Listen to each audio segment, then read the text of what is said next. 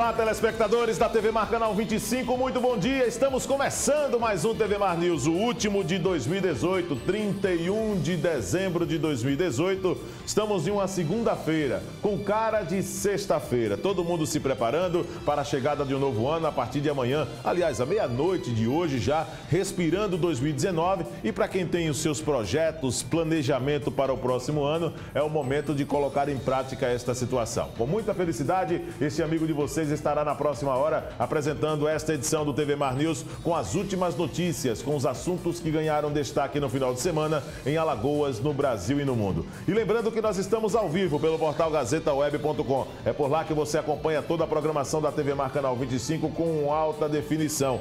Também nós estamos através do aplicativo TV Mar, disponível em qualquer plataforma em seu smartphone. Você pode acompanhar a nossa programação também com tudo em alta definição da palma de sua mão, o amplo conteúdo que a TV Mar Canal 25, emissora da organização Arnaldo de Melo, coloca à sua inteira disposição. As nossas redes sociais também interagindo com você. Acompanhe os bastidores de cada programa pelo Twitter, pelo Facebook, pelo Instagram, pelo YouTube. Vai lá, dá um joinha, acompanha os bastidores de cada programa e fique por dentro de tudo que está acontecendo em Maceió, em Alagoas, no Brasil e no mundo, abrindo a programação da TV Mar Canal 25 nesta segunda-feira. Lembrando também que você pode utilizar o nosso mecanismo através do aplicativo de mensagens instantâneas, o WhatsApp, pelo 98107 9872. Você manda suas mensagens, contato direto com a produção do programa. Abração da diretora Patrícia Barros, mais um ano aí, né, Patrícia? Aí no comando na, no, no, departamento de jornalismo da TV Mar, ao lado do Alexandre Lino, do nosso Tiago, da Lara, que está ali na produção também do Bem Assim, da nossa Mara Almeida. Todos os integrantes da nossa produção, da equipe da TV Mar Canal 25 preparados para poder te atender através do 981079872. A mesma coisa acontece pelo 3377 9097. Você pode ligar, traga a sua denúncia. Nós da TV Mar Canal 25 vamos cobrir e trazer todos os detalhes inteiramente e cobrar das autoridades uma solução para seu problema. O TV Mar News tem um apoio, o prestígio comercial de Apvida. A Pivida sempre com a credibilidade que você conhece, que você confia e todos os dias aqui também dando espaço para mostrar que a qualidade de vida não está associada apenas na prestação de serviços, mas também naquilo que se proporciona como importante, a prática esportiva. A Pivida mais um carro, trabalho de sucesso já realizado e sempre apoiando também aqui o TV Mar News. Manhã de segunda-feira, início de semana, por incrível que pareça, o último dia do ano, mas que tem uma bela imagem da capital alagoana. Vamos mostrar imagens então nesta segunda-feira. Como anda aí, o sol aparece, algumas nuvens naturalmente, mas Maceió se prepara. Ontem até choveu, né, rapaz? Penúltimo dia do ano. Choveu? Espero que hoje à noite a festa possa ser contemplada também com muita alegria, com muita animação em vários pontos, em vários eventos privados alguns inclusive com é, eventos já consolidados, outros permanecem ao lado dos familiares e que traz uma ideia muito legal, muito bacana dessa linha de, inter, de interatividade para a chegada de um novo ano. Você ao lado das pessoas que você mais ama ou naturalmente vivendo grandes eventos com grandes artistas aqui em Maceió. Até porque Maceió é considerada realmente a capital do Réveillon e tem muitos turistas aqui em todo o estado de Alagoas, em vários pontos aqui do nosso estado. Bom, vamos dar uma passada nessa abertura aqui do TV Mar News nas principais notícias. O portal Gazeta Web, na manhã de hoje, está aqui: jovem é atraído por bandidos e morto à porta de casa no conjunto Gamalins. É, Vanesson Cardoso foi atingido por quatro tiros, sendo dois na cabeça. Né? Tá aí então a manchete né, de capa do portal gazetaweb.com, né? Você acompanhando tudo aqui no TV Mar News na manhã desta, desta segunda-feira. Alagoas reúne as principais festas da virada do Brasil, é aquilo que eu falei, terra dos Réveillons. Aqui é considerada realmente a terra de peso na passagem de ano. Babalorixá prevê 2019 com mais empregos e desafios na política. Santoro é denunciado por rombo de mais de 213 milhões no Rio de Janeiro. É o secretário, né? É, rapaz, secretário Jorge Santoro. Tá aí uma notícia bomba, né? Informação aqui no portal Gazeta Web. Réveillon muda a rotina de Maceióense e atrai, e atrai milhares de turistas. Justiça mantém tratamento homem, home care para adolescente. Isso é uma condição judicial, não é o primeiro caso que se tem, mas muitas operadoras de plano de saúde sofrem também dessa situação. Não oferece muitas vezes o serviço adequado e outras vezes oferece e que tem ações judiciais para cada caso de doença que as pessoas sofrem e que precisa do home care, que é aquele atendimento em casa, é aquele atendimento sem a necessidade do paciente ter que se deslocar ao hospital pela impossibilidade mesmo de que muitas vezes a doença acaba acometendo aquela pessoa. Justiça libera Dilma acesso ao inquérito mãe da Lava Jato. Está aqui também no portal Gazeta Web. Policial atira em segurança e se mata em briga com namorada. Edição do Diário Oficial de terça-feira pode ter até 5 mil páginas. Essas são as notícias do portal gazetaweb.com. Esses e outros assuntos você acompanha também no portal Gazeta Web, o maior portal de notícias de Alagoas. Daí só aqui você acompanha também na TV Mar Canal 25 esse amplo espaço que é dado para o portal gazetaweb.com. 8 da manhã, 40 minutos em Maceió. Eu tenho o prazer de receber aqui nessa abertura do programa, aqui no estúdio da TV Marcanal 25, o Alesson Lisboa. Ele que vai conversar com a gente nesse momento do programa de temas importantes. Arquitetura e urbanismo, por exemplo. É uma condição que pouca gente sabe a função de cada um. E ele é arquiteto, e urbanista, naturalmente, pode falar com propriedade a respeito dessa situação. E dentro dessa linha do que se contribui e de importância desta profissão, a arquitetura, urbanismo, eles são classificados por alguns personagens históricos como a habilidade de transformar um pensamento em pedra. A arquitetura faz parte da vida do homem, por exemplo, desde o tempo dos tempos mais antigos. E é esse o intuito da presença do Alesson Lisboa para poder receber aqui nos estúdios e falar com nossos telespectadores a respeito e tentar esclarecer esse tipo de dúvida que ainda paira na sociedade. Alesson, muito obrigado pela presença, seja bem-vindo aqui ao nosso estúdio. Gostaria que você falasse, inclusive, o seguinte: nós sabemos o que faz um arquiteto, mas um urbanista, o que ele faz? Explica para os nossos telespectadores. Bom dia. Muito bem, bom dia. Eu gostaria de aproveitar e desejar um feliz ano novo a todos vocês que estão em casa. A todos. Então, a diferença entre urbanista e arquiteto é basicamente o fato de o arquiteto ele estar tá sempre relacionado com a construção de espaços interiores, né? E também com essa edificação dentro das cidades. E o urbanista ele é o profissional que está preocupado com a construção e elaboração da cidade, a mobilidade, o planejamento desses espaços públicos, né? Que ficam, na verdade, recebendo todos esses outros projetos menores que são comerciais e residenciais feitos pelos arquitetos. Agora, a importância de se contratar um urbanista, um arquiteto, quando se pensa em mudar espaços, por exemplo. Muitas pessoas se acham no direito de fazer aquilo como pensa, né, da forma como pensa. E acaba tendo muitas vezes gastos bem maiores, Alessio. Eu gostaria que você falasse como é que funciona essa realidade e qual a importância em contratar um profissional adequado para realizar essas atividades. Sim, com certeza. É fundamental que se exista um profissional acompanhando a obra, desde que ela seja construção ou reforma, pelo fato de o arquiteto é ser o profissional responsável e capacitado pela elaboração desses projetos, trazendo o conforto para o usuário. E quando eu falo conforto, eu não falo apenas em estética. Eu falo em conforto térmico, conforto eh, ambiental, no geral. Aproveitamento de iluminação natural, aproveitamento de ventilação natural, que são condicionantes fundamentais para que o usuário possa perceber o espaço como confortável. Eu já cheguei em, em casas belíssimas, casas de amigos de alto investimento, principalmente né, em casas de praia, né, construídas é, no litoral, né, naturalmente, não só aqui no litoral norte, mas também no litoral sul, mas que são casas que elas, apesar da beleza, elas não se transformaram em um ambiente agradável. Às vezes muito calor, ambiente muito escuro. Esse tipo de falha acaba sendo uma falha também, eu diria que determinante na, na, na, hora de uma obra, determinar também a qualidade do profissional que executou exatamente aquele processo? Sim, sem dúvidas. Existem diretrizes bioclimáticas que são seguidas pelos profissionais que possibilitam ao usuário ter esse conforto. O posicionamento correto de uma janela, por exemplo, ou de qualquer abertura em uma fachada, é fundamental para que se exista esse aproveitamento de luz e de ventilação da maneira correta.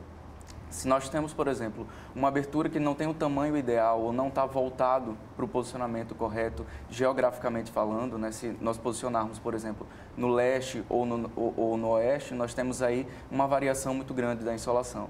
E Sim. isso realmente possibilita ou não ao usuário ter esse conforto. Entendi. É, estamos conversando com Alerson Lisboa, ele que é arquiteto e urbanista, explicando para a gente a importância de cada um né, nessa condição e até mesmo desses profissionais que hoje executam com muita qualidade aqui, com muito profissionalismo, é, algumas obras em Maceió. E por que eu coloco, e no estado de Alagoas, em todo o Brasil, no mundo inteiro, enfim. Mas por que eu coloco algumas obras? Porque nem sempre as pessoas, quando na hora que tem uma obra, dão a importância para a qualidade e para esse tipo de profissional. E dentro desse contexto, vou perguntar aqui para você o seguinte: é difícil trabalhar como arquiteto e urbanista aqui em Maceió?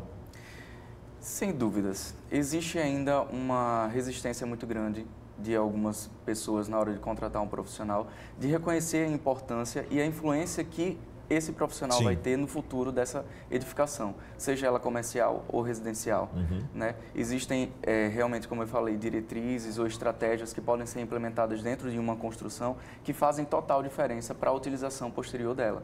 As aberturas foi uma apenas que eu falei, mas existem N condicionantes que devem ser avaliadas para que essa edificação possa ter uma eficiência certo. na utilização. E como desconstruir a imagem que foi feita de que um arquiteto, contratar um arquiteto acaba sendo caro? Muitas vezes o cara tem ali o recurso para poder fazer uma obra na casa dele e diz o seguinte: vou colocar esse dinheiro aqui porque só calculei para poder pagar os pedreiros, o servente, comprar os materiais. E quando chega na hora do arquiteto, o cara trava, pensando que vai ter que gastar uma fábula, gastar o mesmo valor que juntou para poder fazer tudo isso apenas para um profissional é uma constante que nós percebemos dentro de, das pessoas que contratam os profissionais. Acreditar que o profissional ele é um valor alto ou caro dentro da obra, mas contrário a isso, normalmente o arquiteto é justamente uma redução de custo, Sim. porque ele está ali é, é, com a função de gerenciar também a sua obra. Então ele vai introduzir materiais ou não de acordo com a sua necessidade, viabilizando que esse processo seja feito dentro daquele orçamento. Certo. Então, normalmente você tem um valor X para ser investido e não tem a noção de como vai ficar exatamente a sua residência, não sabe se vai ficar confortável, não sabe se vai ficar bonita. E tudo isso você tem como prever com um profissional que está lhe acompanhando. E o custo do profissional, ele normalmente não ultrapassa 20% da obra. Além disso, existem condições que o arquiteto proporciona dentro da, da obra de reforma ou de construção que fazem com que você realmente economize, onde ele vai introduzindo alguns conceitos de economia, realmente. O que é que um arquiteto e um urbanista ele precisa saber necessariamente, Alessio? São diversas. É, é uma pergunta difícil porque são muitas. Ampla, né? É, é muito ampla. É, tem, temos que entender de paisagismo, de iluminação, artificial e natural, ventilação artificial e, e natural também, o aproveitamento delas, né? São condicionantes que também são definidas por cada usuário.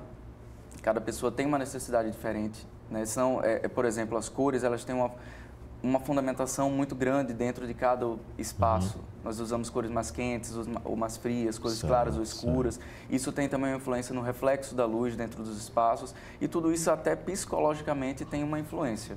Agora, a respeito de espaços que nós temos aqui em Maceió, por exemplo, Teve algum que você já olhou assim e na hora teve uma ideia para poder mudar? Olha, não faria dessa forma, faria de uma maneira diferente? Tem vários espaços assim? Ou tem um específico que você pudesse citar para o nosso telespectador? É, eu não teria um especificamente para citar no momento, mas assim, existem vários projetos que nós podemos perceber, ou talvez, é, eu não tenho como saber se foi um projeto, mas existem várias construções que talvez não tenha sido acompanhada por um profissional. Sim. E isso não adequa à situação ideal. Eu sei. E projetos, eles mudam constantemente? Por exemplo, Alesson, a, a, as obras, a estrutura arquitetônica, por exemplo, de alguns prédios aqui, elas mudaram com o decorrer do tempo? Existe modernidade sendo colocada também nessas, nesses novos projetos? Sim, com certeza. Existem, na verdade, de, é, novas tecnologias construtivas que estão sendo adaptadas, estão, estão sendo incluídas dentro do nosso mercado também, favorecendo o usuário não só economicamente, mas também no tempo de, de obra que ela é executada. Antes nós tínhamos um, um período para a execução de uma obra muito mais baixo, hoje nós conseguimos reduzir esse tempo de obra, e isso é um ponto muito positivo para as novas tecnologias que são, estão sendo é, é, implementadas no mercado e, além disso, os confortos também que nós conseguimos adquirir. Certo. Quanto tempo você é, é arquiteto e urbanista, por exemplo? Eu me formei em 2012 pela Universidade Federal do Estado de Alagoas, tenho então seis anos de formado Sim. e atuo na área em Arapiraca, Maceió e alguns interiores também do Estado de Alagoas. Qual foi o maior desafio desses seis anos, por exemplo, que você tem já como profissional, arquiteto e urbanismo? Eu acredito que o maior desafio não está no projeto, está no cliente. Uhum. É tentar realmente é, é, perceber a necessidade e traduzir essa necessidade em uma forma plástica, estética, que possa agradá-lo até o, o, o, final da obra e deixá-lo satisfeito. São os maiores desafios, mas em geral, nós sempre conseguimos chegar a um ponto positivo. Nas questões financeiras, falando abertamente, é, quando se tem hoje um cliente, existe uma tabela específica do que se trabalha hoje comercialmente para vocês, na, na, área de vocês, por exemplo, para poder negociar uma obra, para que vocês possam fechar e ficar com aquela responsabilidade? Existem. Existe, existe uma tabela que o próprio Conselho de Arquitetura, o CAL, define como ideal e pode ser feito o cálculo de vários tipos de projeto, Sim. ou só de gerenciamento de obra, só de acompanhamento, Sim. assessoria, e aí você tem é, preços diferenciados para cada necessidade. Entendi. Então, por exemplo, se você não quer fazer um grande projeto ou não precisa disso, né, só realmente uma assessoria para uma ambientação ou um espaço menor, talvez até mesmo só um banheiro que você quer fazer uma reforma, Sim. você tem uma condição diferente de pagamento do que uma condição relacionada à construção de uma casa completa. Isso é um processo relativo, né, Alex? Sim, Nós claro. sabemos que isso é uma condição relativa, mas vamos trabalhar aqui num cenário em que, quando se fala de construção, nós estamos também trabalhando com sonhos. As pessoas muitas vezes elas juntam dinheiro para poder construir aquela casa do sonho e muitas vezes no meio do caminho existem os obstáculos. Faltou dinheiro, faltou algum tipo de situação que pudesse dar continuidade naquela obra. A gente observa isso até em grandes empresas, as construtoras muitas vezes têm prédio abandonado que a construtora ainda não conseguiu entregar. Daí eu pergunto para você: quando acontece de um arquiteto, um urbanista fechar o serviço com o cliente e de repente falta dinheiro no meio do caminho? O que é que você recomenda? Você, como profissional, você continua, espera a coisa melhorar ou dá uma parada junto na obra mesmo e diz assim: minha contribuição foi dada até aqui? Não, sem dúvidas é importante que exista a consciência do profissional arquiteto, né, desde o início do projeto, para que aquele valor que foi especificado para a obra deva ir do início ao final. Opa. Então, por isso que nós pedimos sempre para o cliente uma exposição ou uma clareza Sim. no total do investimento, para que isso não venha a acontecer. Entendo. Quando não existe essa clareza e a gente não tem esse controle de quanto que vai ser gasto na obra, então nós ficamos com uma ajuda limitada, né, uma assistência técnica limitada, nós então temos que ter a consciência de aguardar que o cliente é, é, se manifeste financeiramente novamente é fundamental que o cliente também perceba que não deve se desesperar nesse processo. Então, meu dinheiro acabou e agora eu vou colocar qualquer porta, vou colocar qualquer revestimento, vou colocar qualquer luminária, porque isso vai trazer prejuízos e danos futuros muito maiores. Né? Entendi. Né? Nós moramos aqui, vivemos geograficamente em, em, uma situação privilegiada por estarmos próximo ao mar e, enfim. Mas isso também tem os contras, né? Nós temos a maresia que tem uma influência muito grande na degradação dos materiais. Isso. Então, se não aplicarmos o correto material, e isso obviamente tem um valor agregado, nós teremos aí uma degradação maior e com isso a insatisfação futura do cliente. Então, aguardar esse, a, a chegada ou a renovação do bolso do cliente Sim. é fundamental. E aí nós podemos fazer normalmente, é o que o meu escritório faz, uma divisão por assessorias Opa. ou por acompanhamento. Nós não recobramos o projeto. Né? Nós deixamos em stand-by e voltamos a acompanhar, Maravilha. cobrando apenas visitas. Isso é que é muito importante, né? Deixar claro essa situação e expondo também uma condição que para muitos telespectadores isso acaba gerando uma certa dúvida. Será que é caro pagar um arquiteto? Será que é caro ter todo esse serviço?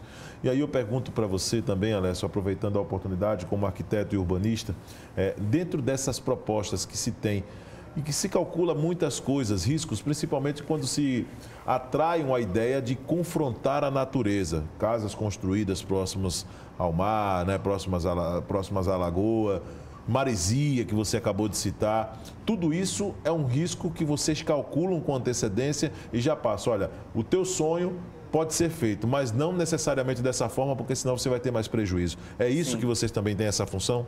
Claro, claro.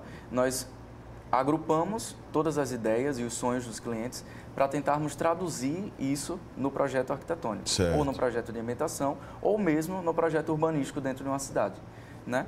É, é claro que isso também acontece de uma forma multidisciplinar. Nós temos aí a colaboração de engenheiros, por exemplo, com um projeto Sim. de é, hidráulica, elétrico, né, estrutural. Sua empresa e... tem uma equipe multidisciplinar nesse sentido? Você tem hoje, por exemplo, de repente eu sou uma pessoa que estou aqui querendo fazer a obra, mas não tenho absolutamente nada. Aí você teria pessoas a recomendar também? Não, né? nós temos profissionais que indicamos ah, tá. normalmente. Ah, e essa indicação é feita justamente para que a gente consiga compatibilizar todos os projetos e viabilizar o sonho do cliente, que certo. é a principal intenção de ter o projeto arquitetônico e esses cálculos, Alisson, esse, esse cálculo que é feito é baseado pelo valor do investimento do cliente ou existe, na contratação, claro, de profissionais Sim. como você, é, é, baseado no valor do investimento do cliente naquela obra? É por aí a base de cálculos? Sim. Então, é de acordo com a demanda de serviço, né? Porque, naturalmente, se tem um, evento, um, um, investimento de meio milhão de reais no imóvel, terá mais trabalho do que um de 100 mil reais, por exemplo. Naturalmente, é isso? Sim, existem variáveis, na verdade, porque, por exemplo, em um projeto de alimentação, nós podemos colocar uma poltrona que vale X e uma outra poltrona que vale tá, é 20X. Perfeito. Então, são condicionantes que variam um pouco. O valor, ele não define exatamente a dificuldade da obra, Entendi. mas o valor é importante que seja dito para que a gente consiga identificar o início e o fim, ou seja, possibilitar a conclusão da obra, como eu te disse. Então, essa clareza de sabermos quanto vai ser investido é fundamental, mas ela não define a quantidade de trabalhos. Né? O que define normalmente a quantidade de trabalhos são as necessidades do cliente.